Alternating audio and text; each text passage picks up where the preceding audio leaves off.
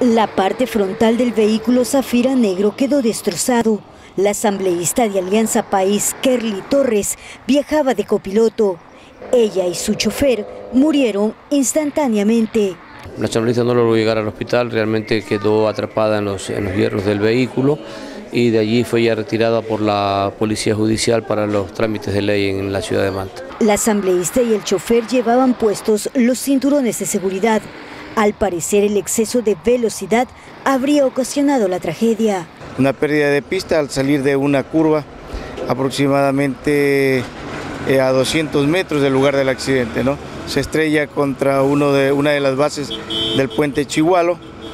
Eh, hay dos fallecidos y tres heridos. Junto a ellos viajaban tres personas más que resultaron heridas. El compañero Manuel Durán, que es asesor de la compañera Kelly Torres, eh, se encuentra también con un problema bastante complicado. Eh, está siendo trasladado hacia la ciudad de eh, Guayaquil.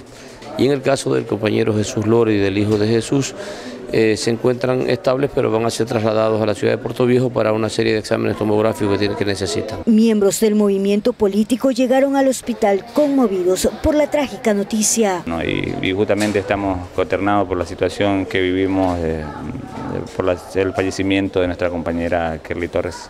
El vehículo siniestrado se encuentra en los patios de retención en Ricauter, en Chone, Daisy Pico, Gama Noticias.